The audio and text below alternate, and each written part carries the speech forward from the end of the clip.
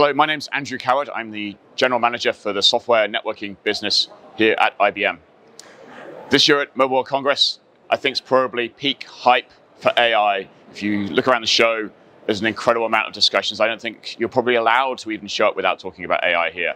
It's really interesting if you separate out the companies into what they're really offering.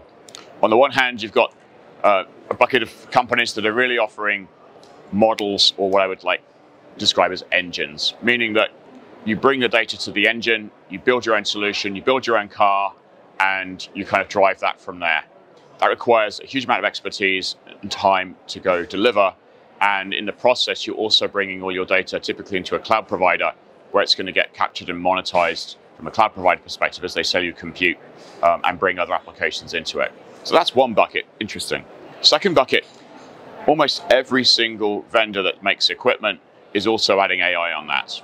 And so you've got these vertically integrated stacks that vendors are providing. And through that process, they're also trying to lock you in because it turns out that as all the information goes into their model, they're less likely to allow other vendors into that ecosystem um, to run their AI onto it. So there's really a fight, if you like, for the data that comes out of this equipment into those models. The third category, and this is where IBM really fits in, is companies that are providing the complete car. And if you think about that car and what that needs to do, it's not just using one model, it's using multiple models. It's not just working with one vendor, it's working across an ecosystem of vendors.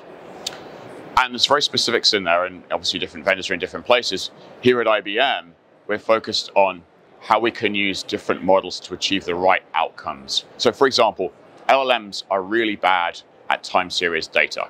We don't understand the difference between this week, yesterday, 10 years ago, 100 years ago. We've been using really small models, time, uh, time-based models that are only uh, a million parameters or so big that can be super efficient about understanding um, data. Now, just giving you a model isn't enough. We then put that in a system that's end-to-end.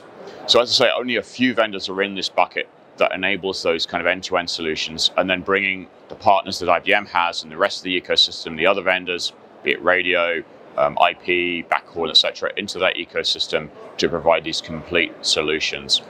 So, as we try and separate the massive amount of hype from the reality, it's about understanding what you might want to do yourself and what vendors can bring to that party. And here at IBM, whatever the model you have, we kind of have the right way, we think, of approaching the problem. Thank you.